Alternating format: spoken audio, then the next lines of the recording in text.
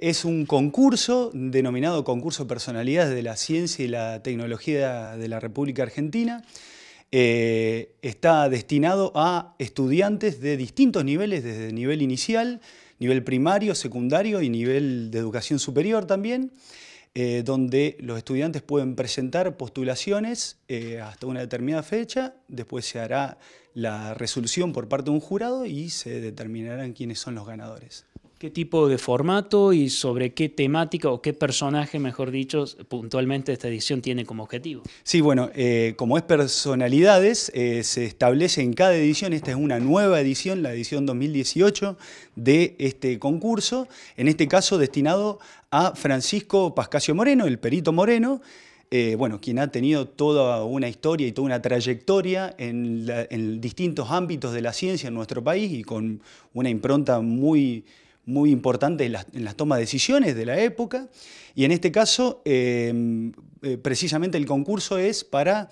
eh, hacer en cualquiera de sus formatos, tanto eh, escrito, una monografía, ensayo y muchas otras, en video también, en audio, puede ser un programa de radio, tiene muchos formatos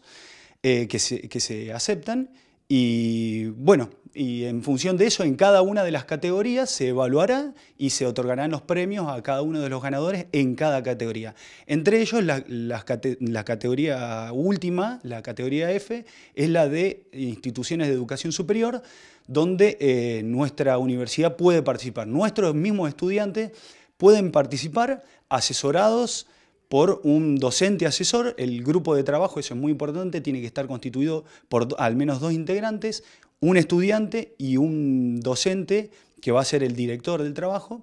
y quienes vayan a ser los que ese equipo de trabajo va a ser el que va a presentar la propuesta. Eh, la fecha límite es hasta el 31 de octubre, por lo tanto hay tiempo. Una cosa que me olvidé decir, lo coordina, lo, organiza en realidad el convenio de cooperación interinstitucional fundamentalmente está integrado por la Academia Nacional de Ciencia, el Ministerio de Ciencia y Tecnología y el Ministerio de Educación de la provincia de Córdoba y la Universidad de Córdoba, esas cuatro instituciones, y eh, es un concurso a nivel nacional también muy importante. Para todo lo que haga falta eh, hay un link también de la Academia Nacional de Ciencias en la página principal, eh, se puede incorporar y si no, con todo gusto nosotros los atenderemos y asesoraremos desde la Secretaría de Ciencia y Técnica de nuestra universidad.